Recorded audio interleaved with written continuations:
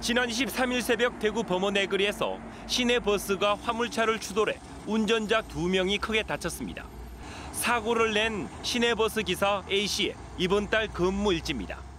3월 2일부터 7일까지 엿새 연속 버스를 몰았고 단 하루를 쉰 뒤 다시 꼬박 엿새 동안 핸들을 잡았습니다. 이른 새벽 차고지를 출발해 밤 10시가 넘어야 운행이 끝나는 근무 형태를 감안하면 말 그대로 살인적인 경무입니다. 저 같은 경우에도 5일 정도 해보니까 내가 좌회전을 해야 되는데도 직진 신호가 떨어지면 나도 모르게 간 적이 몇 번 있어요, 저도. 버스 기사들의 근무 형태는 하루 2교대나 최소한 격일제가 원칙입니다.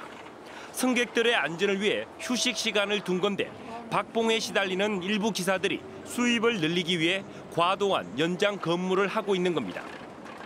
인력난에 시달리는 회사 측은 졸음운전 등으로 인한 사고 위험을 알면서도 수수방관하고 있습니다.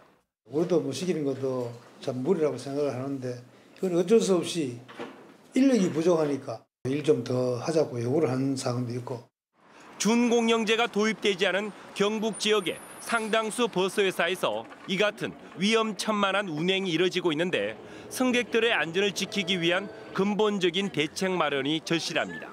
TBC 박용훈입니다.